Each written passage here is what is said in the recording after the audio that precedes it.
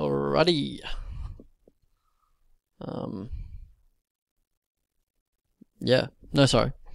I was uh looking. I was looking at the age of fight, a- age at fight, um, and it just said 35 years for um Diego, and I thought that was a little weird. But then I realized he's actually fighting on his birthday, so good for him.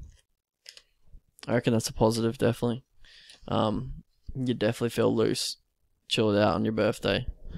Um, I don't know. Well, I do anyway. Some people, I guess, could definitely be stressed out um, because of the commitments and stuff that you have to do on th- that day. But yeah, normally it's it's pretty chill on your birthday, but whatever. It's not what what's gonna win the fight. Um, yeah, Anthony Pettis, Diego, Carlos Diego Ferreira, CDF. Uh, we'll just call him CDF or Carlos or Diego. Um, so yeah, we'll break down Diego first. Um, so his striking, um, you know, very fundamental. You can tell he's he's recently learnt it within the last five years. Recently learnt how to box correctly.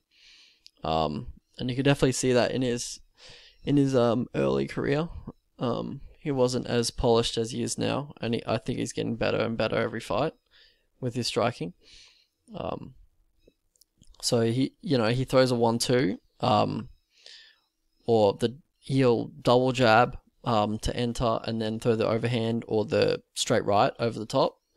Uh, teep to the body, and pretty much he'll just go with that the whole fight. just uh, spam him pretty much. Uh, he's you know um, his striking tendencies. He he likes to jab. He likes to feint. Uh, to continue the forward pressure uh, slash momentum, which he likes to he likes to you know just kind of keep walking forward, keep that momentum forward, uh, and he does that by jabbing, um, which keeps the opponent away at the distance that he likes, and also um, feinting, which makes the opponent back up. Hesitate. Um, sometimes he'll end a combo with a head kick. Um, everything's set up from the jab or the double jab. Um, he's not afraid to exchange if it means he can continue his forward pressure because he doesn't like taking a back step at all.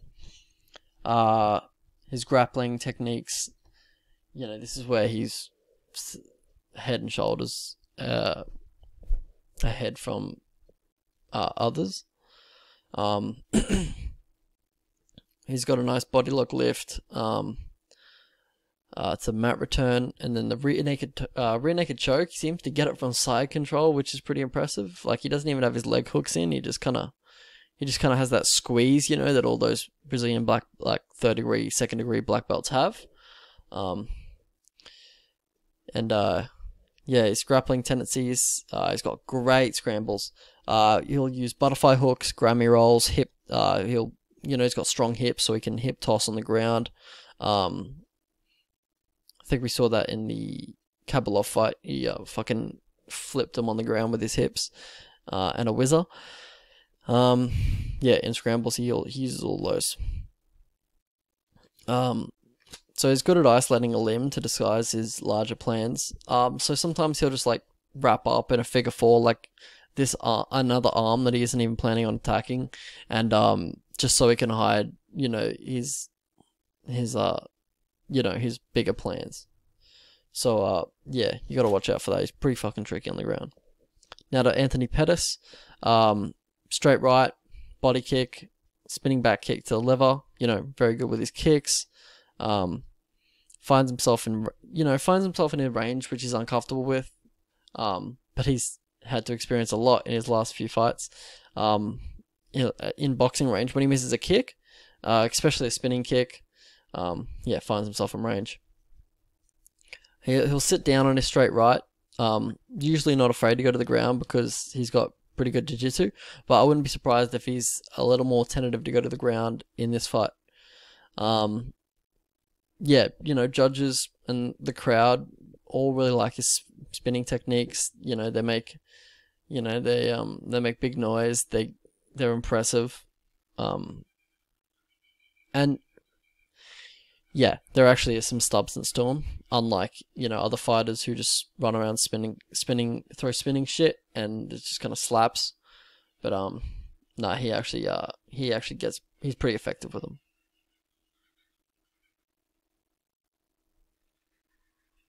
Yeah, he mixes his boxing and his kicks very well. Uh, he's able to strike from both stances. Um, you know, when when it's opposite stances, he'll kind of spam body kicks, um, because it's just just open in that position. Um, and Diego Ferreira with his high guard, he may be open to those. Um, with his high guard, so his body's exposed.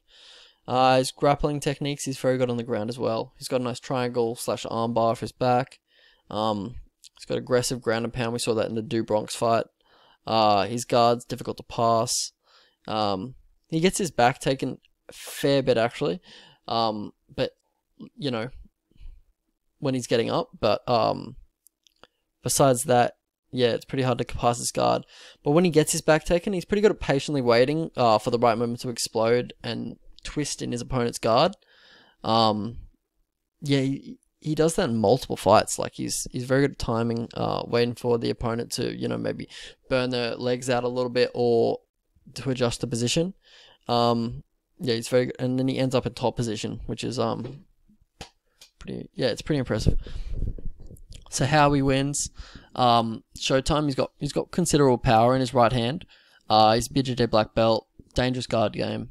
Um, when he's given space to maneuver, like kickboxing range, he's very dangerous. Uh, he's got a good chin. Uh, his uh, his takedown defense, uh, his takedown, his guillotine takedown defense. Uh, when he sits down into it, it's pretty deadly. Um, catches opponents by surprise. Um, and he's got great kicks. We talked about that. Good submission defense. Legs dexterity. Um, leg dexterity catches the opponents off guard. So yeah, like, yeah, he'll be in close range. He'll be in boxing range. He'll throw a head kick. It's just uh, it's very unique. Carlos Diego Ferreira. Um, how he wins. He's a legit BJJ black belt, a third degree black belt. Um, forward pressure, not afraid to walk into a you know a reactive takedown, reactive double leg. You know he'll he knows he can scramble out of them. Um, and yeah, he's got great cardio, great volume, great scrambles, good takedown defense. Even though he's um very aggressive and he doesn't mind going to the ground, but I think he likes going there on his own terms. Uh, he's got good recoverability. We've seen him be hurt or stunned a few times, but he seems to recover pretty well and get straight back into forward pressure. Um, he's got great BJJ transitions on top. Uh, his striking's improving every fight. We talked about that. How he loses, however, uh, he doesn't check leg kicks. Um, style, his aggressive style means he's more likely to walk on the punches. Um, and also he doesn't shoot as often as he should, or as I would like him to. Um, so he doesn't get to use or utilize his BJJ as much as um, because that's where he has a huge advantage over all these guys. Um, but yeah, um, how Pettis loses, uh, he's a bit of a flake, bit of a bit of a quit, yeah, you know, quit machine. Um, when the going gets tough, he does tend to bow out. Um, he's got pretty bad takedown defense. Uh, yeah, he quits usually when he's under pressure, when he's um getting heavily pressured by by um you know those aggressive fighters like Tony, Nate, Max. He really tried to quit in that in that Nate fight and tried to lose my Nate by decision bet for me, but um yeah, fucking I think it was Beltran. Beltran let him stick around. Fucking awesome. Uh, I was nearly so pissed yeah, he cracks under those. Uh, he also gasses in high paced fights with the heavy, uh, the heavy, heavily pressured fighters. Um, he's easily backed up onto the cage. Um, I guess that's a little bit part of his game though. He kind of does those Superman punches off the cage and Showtime kicks, you know, whatever. But um, it's, it's still not a great look for the judges. Uh, he's got a lot of scar tissue, gets cut up every fight. Um, yeah, he'll lose a good position after rushing a submission or a position change too hastily. Uh, he gets he's uh liable to chain wrestling. You know, decent uh initial takedown defense, but um once you stick on him for a while, he kind of just snaps. You know, breaks. Uh, which is the yeah, which is pretty much the case for Pettis. Uh, he can be controlled for long periods of time on his back, um, because he gets too comfortable on his back, throws up submissions and shit. But yeah, uh, X factors for this one. Uh, Pettis dangerous at all times of the fight. Um, what's the morale like in the gym? You know, Askren had a shocking year, retired. Woodley, he's well, I guess he's motivated now, but he, he just got fucking dominated by Usman. Uh, not getting a title shot. Um, but maybe yeah, he'll be in the gym, you know, now that he's uh got that London fight coming up. Uh, Sergio Pettis got cut by the UFC. Um, so yeah, what's the morale like in the gym? Paul Felder's doing pretty well. Um, yeah, and he's four and seven in his last eleven fights. X factors for CDF. Um, he actually has a pretty tough weight cut. Um, I don't know if it's that tough, but it's um, he just doesn't cut weight very well. Um, and this will be the biggest fight um of his career, and also on the biggest stage of his career. I think it's the co-main event. It doesn't say it on Tapology here, but I believe it's the co-main event. It should definitely be the co-main event over Holly Holm and Raquel Pennington. Um, and yeah, yeah, and he's a he's a man on a. I don't think it's gonna affect him. By the way, sorry. Um, I don't think it's gonna affect him. The uh, putting on the big stage. Seems like a big time player. Uh, seems like a man on a mission.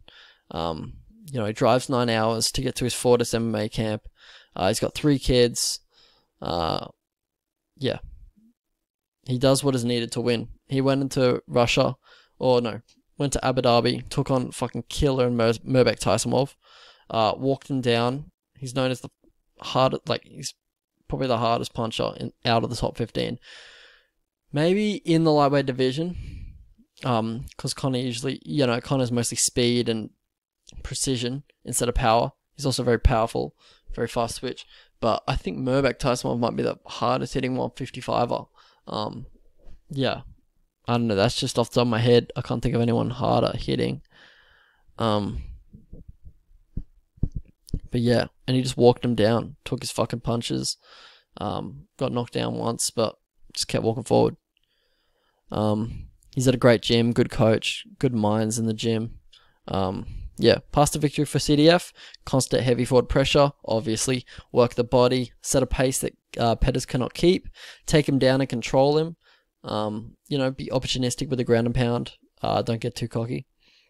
Um, and try and pass his guard because he's very, he's very, um, or pass his guard if you see an opportunity, but he's very, uh, he's wiry, you know, lively on the ground. Uh, catch a kick and ground Pettis.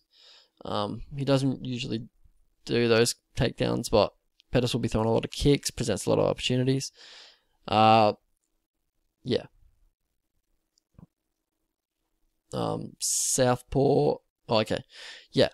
Uh, Pettis for pass for to victory for Pettis. Uh, should come out in Southpaw, open up the power leg kicks. Uh, come out with leg kicks. You know, CDF doesn't check them. Uh, slip and counter the jab um, to offset rhythm. So yeah, so CDF you know throws out the jab a lot to um, you know get his rhythm, get his range. Uh, so you just want to counter that as much as you can um, to make sure he doesn't get his rhythm, doesn't get a flow in his offense. Um, yeah, go to the ground with him if you have him hurt because he's got great recovery, great recoverability. Um, so don't you know don't be too scared to go to the ground with him. Just try and finish him off um, in his guard because that's what Dustin Poirier did. Finished him off. Uh, how I see it going, uh, both fighters have a path to victory here, but I believe CDF's is more realistic and forcible, um, slash enforceable. Uh, the only reason I'm not going huge on CDF is because he barely goes for takedowns, and that that's the that's the reason the fight will be closer than it is if it stays on the feet. Um, yeah, it's a pretty close fight on the feet, but on the ground it's huge. Uh, like he has a big advantage. Um, not a huge one because Pettis is pretty good on the ground, but you know. Uh, on the feet, I believe CDF just edges it with forward pressure, maybe even finishes Pettis or like, with body shots or he quits. Um, yeah, I trust Sayif Saud to come out with a good game plan, come out, give CDF a good game plan. So uh, for that reason, I went to CDF money line. I got CDF by decision. Um, yeah. Uh, I wouldn't go any lower than 143, uh, to be honest. but yeah, that's what I talk about.